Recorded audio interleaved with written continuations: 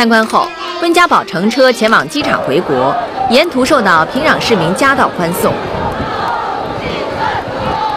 朝鲜内阁总理金英日等到机场为温家宝送行，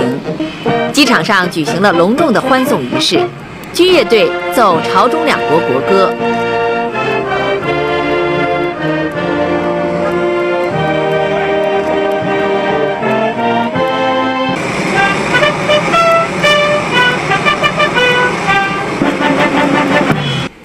温家宝在金英日陪同下检阅了朝鲜人民军三军仪仗队。